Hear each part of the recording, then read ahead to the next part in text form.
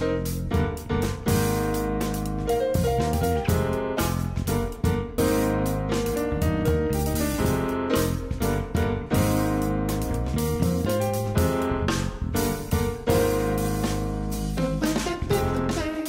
uh, Noel Celis, uh, 33 years old. Uh, I'm working for AFP for uh, seven years as a photojournalist based in Manila.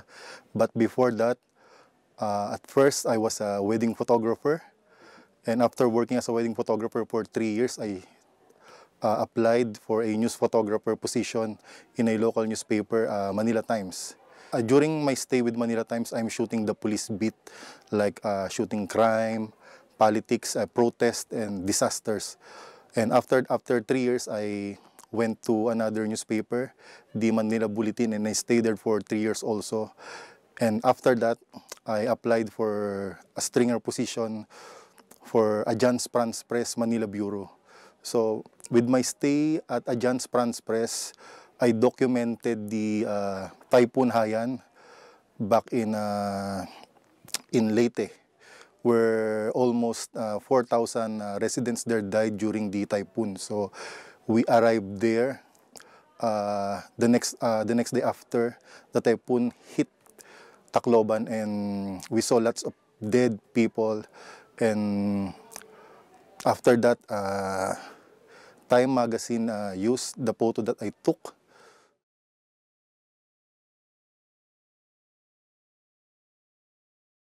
also uh, when President Duterte won as president, uh, we uh, I documenting the war on drugs. So also uh, I covered the uh, situation inside the Quezon City Jail.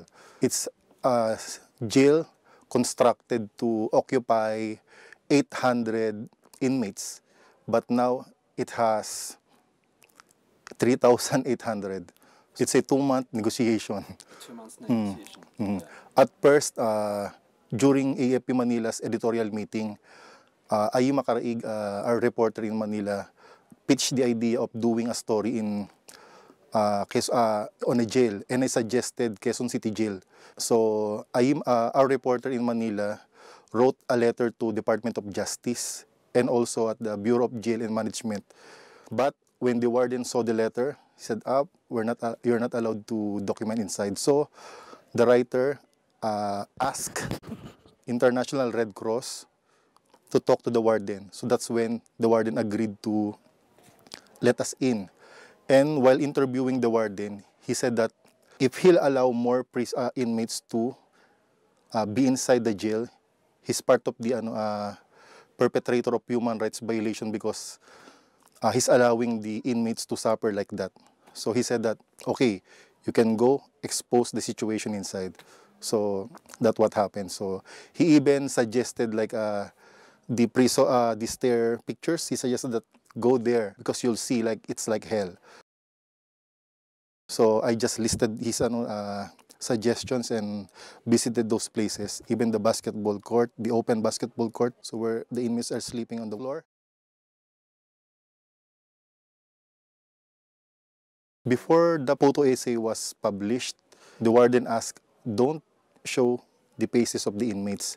But for me, I need to get a strong impact uh, response from the audience, from the Filipino and the authorities. So I need to show the faces, not the close-up, but the like a wide shot of them, their situation. So when the photos were published, her secretary was texting me like, why did you publish that and this and that and that? and that?"